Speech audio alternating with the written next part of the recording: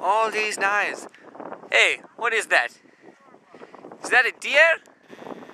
Show me your face! A donkey, huh? What is that? It's so big. Oh, you mountain pony. so orthodox.